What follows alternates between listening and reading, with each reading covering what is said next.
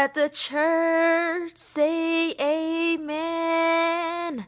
Let the church say amen.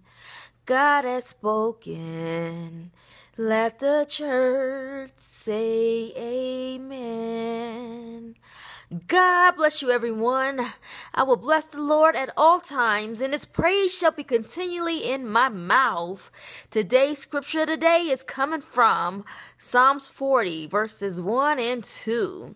And it reads, I waited patiently for the Lord. He inclined to me and heard my cry. He drew me up from the pit of destruction, out of the miry bog, and set my feet upon a rock, making my steps secure. God told me this morning that people are asking him when. God says, don't give up, keep praying, because you are closer than you think. Don't give up.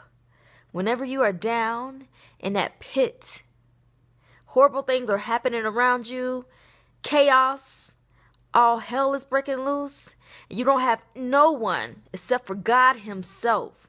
No one can help you except for God himself. You done did all you can do, and you realize that only God can rescue you out of the pit.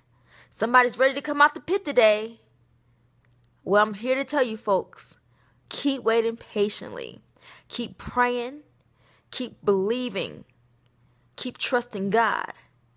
You determine when you come out that pit God wants to show you something. God wants to teach you something. While you're down in that pit, take this opportunity, embrace it, learn from it. Learn all you can learn. Grow in God while you're in the pit.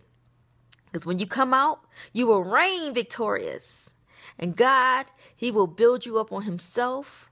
He will put your feet on solid ground. Your feet will be steady on Him because you are built on Him. So keep trusting and keep believing. And just know that trouble don't last always. God bless you. That's the scripture today. It's coming from Psalms 40, verses 1 through 2. God bless you. I see you tomorrow.